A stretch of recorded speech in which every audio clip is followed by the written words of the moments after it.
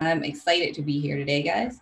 Uh, Robert, already someone from the audience helped me uh, crush a bug on this title, so I'm excited to you know share some more with you all. But again, my name is Jannaee Sick. Uh, we will be going over um, how to do testing with the Jest and Enzyme, and this is a light introduction into uh, unit testing. I wrote this talk for um, for those of you who are new into testing or interested in getting started, and also those of you who um, may be um, uh, building React components and, and looking to, to test those. So a bit about me, um, I'm a front-end developer at IBM, but I work on the Red Hat Marketplace team. I know that's weird, but um, if you want to find out more about our uh, product and our team, uh, I've included that link in there um, in my slide. But essentially, we've built a marketplace for developers to explore, create, and deploy container-based software. And um, my responsibility on my squad is to help create and implement React uh, user interfaces. So I've been there, I've been with IBM for about a year next week, and I've been in a nonstop learning mode. Uh, so some facts about me. I started with zero experience in unit testing and 3% experience building React components. Um, actually, no, that number is arbitrary, but the point is, uh, this has been a huge uh, learning year for me. Our team works with uh, TypeScript. Um, I've learned how to do that and interface our data and write React components. And, you know, we work in a continuous integration and um, agile environment. So we're constantly pushing to production and nothing, I think the most challenging thing for me has been unit testing. So I wanted to uh, force myself to get better, which is why I've done this presentation to do a deeper dive. And I want to share with you um, what it's been like from a beginner's perspective and maybe give you some tips and stuff that might help you on your journey as well. Hey, Jannaee, sorry to, sorry to interrupt. Uh, we don't see your slides if, if you started uh, sharing. We, yeah. I have started sharing. That is so unfortunate. You guys missed out some really cool stuff. How about now? Cool. Got it. Yeah, we are WebEx at IBM, so all this stuff. um, but you guys are here just in time for the agenda, which is um, we're going to go over unit testing, like the importance of unit, unit testing, how to install it, run our first test, and if you have time, take a peek at what a code uh, coverage would look like. Um, so unit testing, generally speaking, is um, it's it's testing. It's a way of testing the smallest pieces of code within a system. So in context with React, it's taking a single React component and you turn it into a really small block of um, code that is called a test suite. And you make essentially make an assertion, which basically you're saying this is what I expect my code to do when I match it with a specific condition. Um, and if it doesn't work, then you know you've got a bug. Um, and if it does, then you can go celebrate. But um, there are some downsides to uh, unit testing. You will have more code to maintain, and sometimes it takes just as long to write the test. Um, but the advantages are it helps build your confidence in your code and um, it makes you feel more confident about what you're pushing out into production. So, um, and this, of course, can alleviate your time as the developer from manually checking code with every change.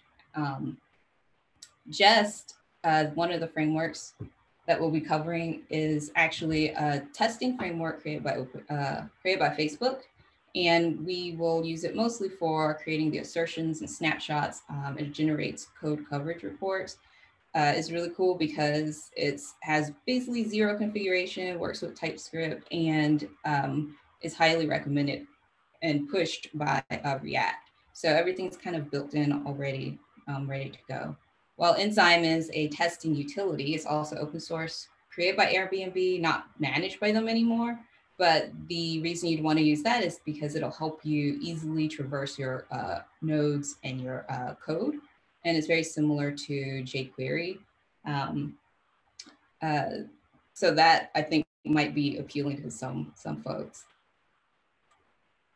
And as for setup, um, it's pretty straightforward. Uh, the I include a lot of uh, in information on how to get this started, but I just want to point out that you do want to uh, set up um, an adapter to connect to uh, Enzyme and you want to configure it to the version of React you're using.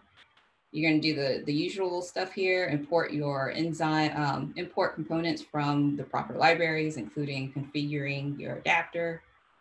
Um, and then you can choose between configuring uh, like how you want your code uh, coverage, um, where it's collected from, where you want to put it, uh, in your package JSON file, or you can put in your Jest config. I prefer package JSON so I could just have it all. Uh, I did create all of this and push it up into a repo so you can kind of take a look at that. Um, and then also snapshot serializer is pretty cool.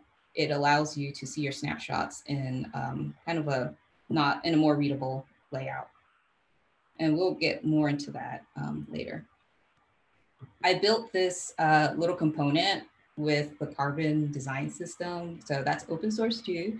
And um, it's just a super simple form that oddly, weirdly, isn't really something you do with launch a modal instead of submit. But um, just I want to throw in some elements for you to see how to um, interact and how we will be interacting with this.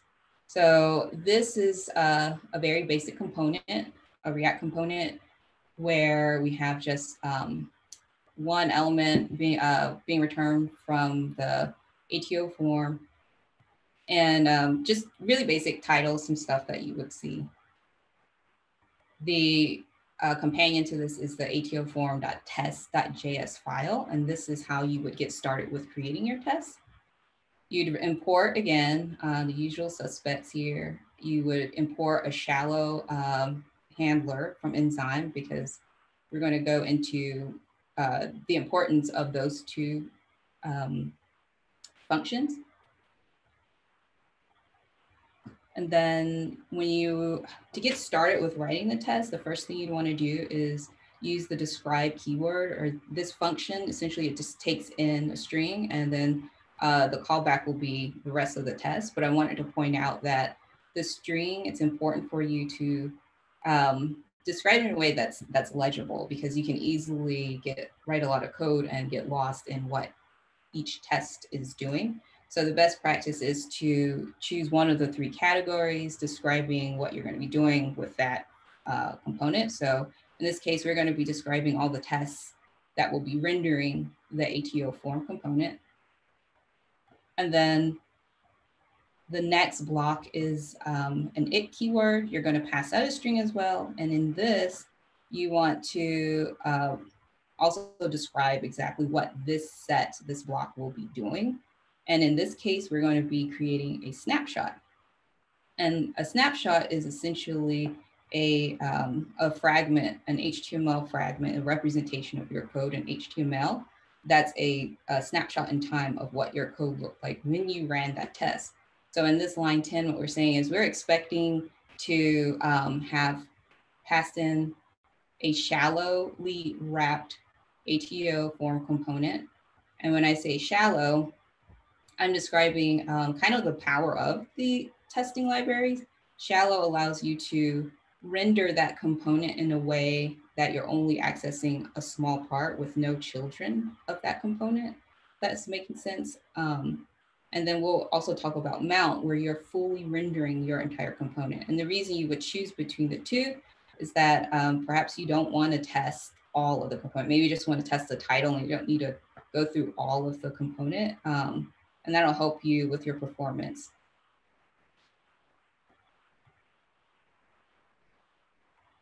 So let's see here.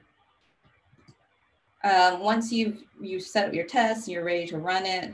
Um, you do you could do a. I'm doing I'm using Yarn for my test manager, so I would do a Yarn test and a watch, uh, just so that I could see.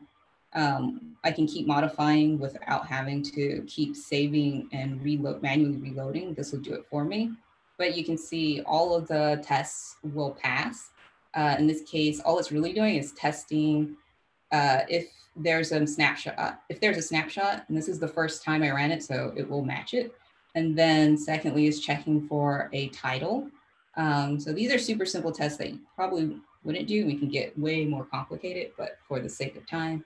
we're doing these super simples. And as you can see, this would be a snapshot uh, result. So this would automatically, based on your configuration, get dumped into a snapshots folder.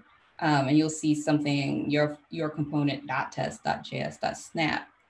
And this is that HTML rendering. Um, next, you'll see what will happen if you do change something and what will happen with your test. So as you see in line eight here, um, I changed our test subject to now read our subject. And if I ran the test again, um, then we would get a new view of this uh, result. We would get a failure. And you see all of our nice check marks, one that tur turned into an X on line four, because that's where we're having the problem. And then I'll go into a little bit more detail. We'll show you um, how your assertion is no longer right. It's saying, you know, we expected to receive true, but we got a false. Um, as you see in line 21, um, that's because we, we changed that title and it's pointing it out. I can't see if I can use this mouse. Okay, you could use your imagination, but that now says to be uh, true is now false. So that is a quick snapshot. Cool. Um, another way you, you can see how your test pass or fail is there's a coverage report. If you've configured your um, test, you can check out this table after you run a test. Uh, it's not doing it. There we go the most important line to me, the more, or the most important column to me is this last one that says uncovered lines. Whenever I see this, I totally panic because now I know that there's a problem. And so what you would do is go into your coverage reports folder um, and you'll see a fresh, uh, freshly run report cover here. And this isn't for this code, but this is just to give you an idea what that would look like when it's failing. So you, it'll highlight the line that's the actual problem for you to address. And if you go in and modify your code and make it work, this was what your test coverage would look like as a pass. And I'm always looking for that 100% because um, we have a 100% uh, test coverage rework. So this has always got to be perfect. Um, and then my last component here uh, just will help demonstrate um, a simulation, which is another common interaction or something you would do to check. So this is the launch component. It's basically the one that would open up a modal. And you set it up similar to what we did previously. You describe what it's going to do. In this case, it's this set of tests will be um, the interactions for the launch modal, followed by what it should do, which it should open the launch modal when clicked, and then um, we set up our test by, you know, um, defining our wrapper as the uh, launch component in its full render, which is why we use a mount. Um, and then when we do a full render like that, we can have access to all the children nodes in there. So you'll have access to the button, and that's what we're doing line eight, We're, we're taking that uh, component and we're looking for, we're going to find the button, which in this case there were four. So we're going to find the first button and then click it. And once we do that, we know that it's going to, uh, based off of I've already gone to code and load IC, it's toggling a visibility uh, state. So we're going to check for a div to see if that now says is visible. So we're going to find that div with an ID of input modal and we expect now that it will have a class of is visible. And so that should be true.